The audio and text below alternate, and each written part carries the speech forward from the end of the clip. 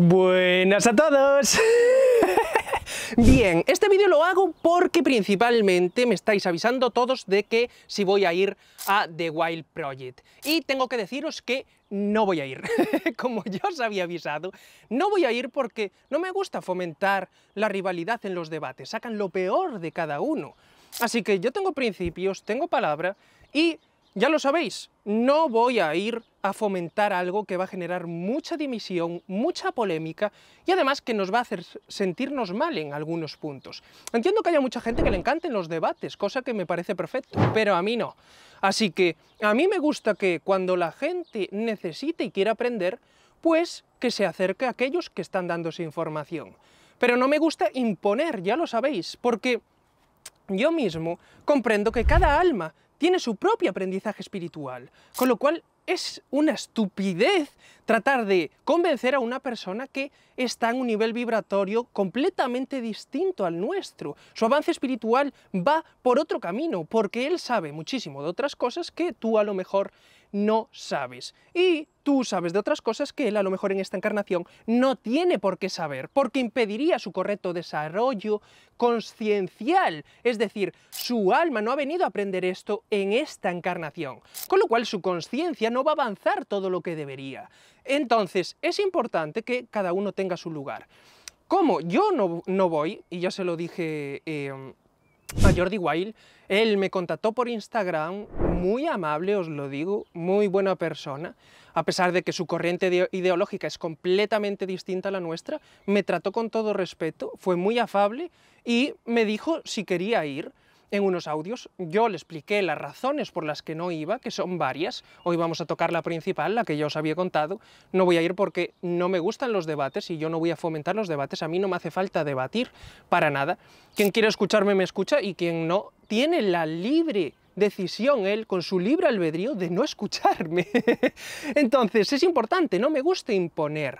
A mí me gusta que se acerquen a mí cuando quieren escucharme. Si no, no tengo ningún interés en que los demás piensen como yo. No me preocupa, porque sé que cada alma tiene su propio proceso de avance espiritual, así que aprenderá lo que tenga que aprender en esta encarnación según lo que haya decidido antes de encarnarse. Pues bien, la historia de esto es que quería dejaros claro de que no voy a ir, porque están por ahí circulando shorts de que el debate más esperado para crear hype y así, pero yo no voy a ir, ya os lo dije y yo tengo palabras, soy un hombre de principios y si digo que no voy a ir, es que no voy a ir. Dentro de esto hay varias razones. A medida que se vaya, que se vaya eh, em, produciendo el debate y demás y así, hablaremos de él y así, y si eso hablaremos de más razones, pero en principio yo ya os dije que no iba a ir, cosa que vosotros la mayoría estabais de acuerdo en que no fuera, porque sabemos perfectamente que es ir a territorio enemigo y hasta el propio presentador tiene una corriente ideológica completamente contraria a nosotros, entonces no sería una cosa muy, muy positiva, a mi modo de ver. ¿Qué pasa? Que luego hay otra gente que, gracias a ese debate, posiblemente despierte, con lo cual yo apoyo muchísimo a David Parcerisa, que va a ir a, a, a sustituirme a mí, es decir, va David Parcerisa y va Carles Torá, y entre los dos, pues estarán eh, haciendo el debate con la gata de Rodinger y con Javier Santaolalla. Entonces, me parece perfecto que lo hagan, yo les apoyo, ojalá eh, consigan despertar muchas almas con esa acción, pero yo no voy a estar en el barco. Así que era para deciroslo, aclarároslo y que no me eh, estuvierais preguntando todos, pero vas a ir, pero vas a ir. Porque sabéis de sobra que no voy a ir. Soy un hombre de palabra y si digo que no voy, no voy. Sabéis que yo la fama y el dinero me la pelan desde el principio. Es algo que yo tuve muy claro muchos que se dedican a estas cosas me lo dicen, bueno, Enrique, es que tú tienes unos ideales, bueno, yo ya empecé con estos ideales. ¿Entendéis? Yo estuve ocho años sin cobrar en YouTube. Entonces, ¿creéis que me preocupa el hecho de tener menos fama o tener menos views? O es que me la suda. Entonces, tenéis que ser realistas. Cada uno tiene que ser fiel a sus principios. Yo mis principios me permiten dormir tranquilo por las noches. Lo que los demás hagan es su vida. Entonces, yo soy fiel a mis principios y cada uno tiene que ser fiel a los suyos. Vosotros me conocéis y me comprendéis, sabéis perfectamente cómo soy, por eso me aconsejabais que no fuera y así. De hecho, esta semana acabo de rechazar también otro, otro proyecto que me, que me eh, ofrecían los de Antena 3 para ir a grabar a sus estudios y así. Y sabéis que no me apetece, las cosas como son. Quiero estar tranquilo, estoy en otra fase de mi vida, me apetece estar un poco más de, de tranquileo. Y os lo digo, cuando sea en formatos que te respetan y quieren oírte, a pesar de que sepas que el presentador le importa una mierda lo que cuentas, pero te permite exponer las cosas para que la persona que te está viendo pues decida por ella misma. Tú le presentas las pruebas, le das los razonamientos y que ellos elijan. Lo que no puede ser es ya tener enfrente a una persona que seguramente está tratando de ridiculizar, etcétera, etcétera, como en muchos formatos pasa de la televisión, por eso no me fío nada de ellos. Yéndonos al The Wild Project y así, quiero también razonar otra cosa, más allá de esto. Sabéis todos que, y todos los que me conocéis, al que hicieron famoso fue a Mickey Mouse empírico, no fue a Enrique exponiendo la verdad. De hecho, ya lo sabéis, yo tengo Shadowban en YouTube y eso es fácil de poner. Simplemente pones Walkas exponiendo la verdad y ya veis que ni aparezco. Entonces, esas cosas tenemos que tenerlas en cuenta. ¿Por qué razón? Porque yo realmente no es algo que a mí me guste fomentar. Lo de Mickey Mouse empírico me hizo mucha gracia, los memes fueron acojonantes, pero las cosas como son. Yo no soy Mickey Mouse empírico, yo soy Enrique Desponiendo la verdad y me suda los huevos cómo me llamen o cómo me quieran llamar, pero yo no voy a estar alimentando esta nueva corriente de los frikis de moda. Entonces, ya os acordaréis, con todos pasó y así mucha gente la utilizan porque pega mucho y hace gracia. Pero es que mi finalidad no es ni pegar mucho ni hacer gracia. Mi finalidad es despertar almas, con lo cual es que me la pela. No me hace falta ir a ninguno de esos sitios en los cuales se quiere fomentar una imagen de mí que no me representa en absoluto. Con lo cual, es lo que os digo, me parece de lujo que se fomente eh, estos debates para quien los quiera y así. De hecho, ya sabéis que yo tengo muchos amigos que me piden, por favor, Enrique, cuando no vayas tú, déjame ir a mí y tal, avísame a mí porque voy yo y así. Y yo los pongo en contacto, de hecho yo puse en contacto a Jordi Wild con, con Carles y así, hablé con Rimbel también por si, por, por si él también iba, que a mí me parecía perfectísimo y así. Entonces, a mí no me preocupa nada que otras personas y así vayan en representación de las personas de determinada corriente ideológica. Lo que me preocupa es lo que hago con mi vida y con mis principios. y es lo que debería de, importaros a vosotros, os lo digo en serio. Los principios son lo que realmente te hacen dormir tranquilo por las noches, porque no es solo el hecho de que tu alma está mucho más tranquila y está vibrando mucho más alto porque realmente haces lo que realmente quieres hacer, sino por el hecho de que cuando te ocurran cosas y se te pongan eh, delante oportunidades que por fama o por dinero, te van a llamar la atención y vas a querer decir, hostia, ¿por qué no voy? ¿Por qué no voy? Porque esto representa muchísimos views, esto representa muchísimos clics, representa ser más conocido, representa más dinero, representa más fama. Todo eso está muy bien, os lo digo, todo eso está muy bien. Ahora, daros cuenta de una cosa, ¿Por qué empezasteis y por qué estáis haciendo el proyecto que hagáis? Si vuestro proyecto es fama y dinero, perfecto, adelante con todo, hacer lo que haga falta.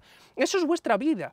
Ahora, si empezasteis con unos principios, como los míos, en los cuales yo voy a despertar almas, en los cuales ya desde el principio yo tuve ya claro en mi mente, el dinero no me va a comprar jamás, igual que no compraron a Tupac, igual que no compraron a Kurt Cobain, igual que no compraban a Bob Marley con dinero, entonces no voy a permitírmelo. ¿Cómo podría morir yo aparecer allí y que me vengan a recibir Tupac y que me venga a recibir Bob Marley y me diga, Enrique, te vendiste, hermano, te vendiste por cuánto?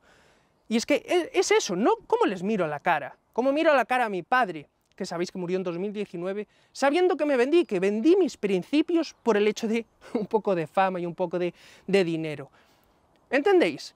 Os lo digo claramente, tenéis que dormir tranquilos y tener los principios. ¿Por qué razón? Porque esos principios van a ayudaros a decidir cuando llegan estos momentos. ¿Os creéis que no me trataron de convencer de mil formas? Para que fuera al programa de Antena 3, para que fuera lo de Jordi Wild, etcétera, etcétera. ¿Por qué razón? Porque damos muchos clics. Si aparecemos yo y Carles, vamos a dar muchos clics. Va a ser eso una corriente de memes larguísima y venga todos a partirse culo. Por supuesto. Ahora, ese es el momento en el cual yo, llegan los principios y ya te dejan y te dicen claramente, ¿a dónde vas? ¿A dónde vas? ¿Ese es el camino que tomaste? ¿Eso es realmente lo que querías para tu vida? No. Pues entonces, ¿qué cojones le vas, a, le vas a contestar? Le dices que no, punto, no hay vuelta de hoja. Y se lo dije, le dije a Jordi Wild, mira, Si tú quieres, yo voy contigo a tu programa y te explico las cosas que yo sé, te explico las pruebas empíricas del primado negativo, de la Tierra plana, etcétera, etcétera. Ahora, para montar un espectáculo no voy a ir, no voy a ir porque no me hace falta, hermano. No me voy a vender porque mi alma, al igual que decía Tupac que podía verse al espejo y ver su alma porque no la había vendido, yo igual. Puedo verme al espejo, puedo verme en cada vídeo y ver que ahí está mi alma, porque no la pienso vender. Esa es mi vida. Entonces, cada uno de vosotros tendrá que decidir. Lo que sí tenéis que tener claro, y ese es mi consejo para todos los seguidores que, que realmente me queréis, igual que yo os quiero a vosotros y así, es os recomiendo tener unos principios claros. Siempre porque cuando os ocurran grandes oportunidades en la vida, que os van a ocurrir si no es un puesto de trabajo, una empresa muy buena, pero que a lo mejor hace cosas poco éticas y por eso nos interesa ir, o a lo mejor es un amigo que te hace una oferta para un negocio súper interesante, pero que a lo mejor va a ser una estafa, que no por culpa de tu amigo, pero a lo mejor por el enlace del negocio, etcétera, etcétera, tenéis que seguir vuestros sentimientos y pensar, ¿realmente es lo que quería para mi vida? ¿Realmente me merece la pena? ¿Cuáles son mis principios? Lo que yo quiero ser realmente. Cuando yo estoy a solas, meditando, escuchándome a mí mismo, sintiendo mi vibración, ¿qué me dice mi corazón que quiero hacer con mi vida? Entonces ahí es cuando estáis formando vuestros principios. Y una vez los tenéis, aferraros a ellos al máximo, porque os van a ayudar a decidir cuando lleguen momentos así. Así que, dicho esto, espero que os quedéis tranquilos porque no voy a ir a Jordi Wild, no os creáis todos esos memes que están apareciendo y hay todos esos vídeos, es solo para crear hype. Desde aquí le doy las gracias a Jordi por haberme contactado, me pareció una persona muy agradable, muy respetuosa, en ningún momento parece que quiera montar escándalo ni nada, de hecho, ya os digo, ellos apalabraron que no va a ser muy fuerte, no van a sacar pruebas muy duras ni nada para que nadie se, se sienta ofendido o, mal, pero me da igual, la vida es lo que es y yo tengo mis principios y por eso se lo expliqué bien a Jordi. Jordi lo comprendió, nos despedimos con un abrazo, nos mandamos cada uno y cada uno por, por su lado. Si en el futuro tenemos que juntarnos, será con otro formato, un formato de respeto en el cual pueda exponer lo que yo expongo, sin tener que andar discutiendo, poniendo malas caras, risas falsas, etcétera, etcétera, que es lo que se fomenta en las discusiones y por eso a mí no me gustan nada. Ya llega bastante con encarnarte en esta tercera dimensión dentro de este sistema socioeconómico corrupto y ya tienes que pelearte con la gente día a día cuando te están, por lo que sea, incomodando o tratándote mal o tratando de engañarte porque ya en sus vidas tienen desequilibrios mentales. Entonces tenemos que ser inteligentes y nosotros mismos tener que poner esas barreras de decir, hey hermano, yo quiero ya una zona limpia, porque ya me llega bastante con todo lo que este sistema socioeconómico corrupto hace y degenera a las personas, porque la mayor parte de las personas no serían tan malas si no vivieran en escasez, eso tenerlo claro, y así tener muchísimo, digámoslo así, más ganas de cambiar todo esto que realmente... Daros cuenta, aunque sea una porción de, este sistema socioeconómico corrupto, que tú mejores, aunque sea, aunque sea en la intimidad de tu casa va a ser importantísimo para el cambio y la mejora y todo el devenir de la naturaleza de la realidad. Así que nunca os vendáis, seguir vuestros principios y si esa oportunidad pasa, ya vendrá más, acordaros, ya vendrá más. Así que dicho esto, nos vemos en el próximo vídeo y ya sabéis que os quiero. ¡Chao, chao!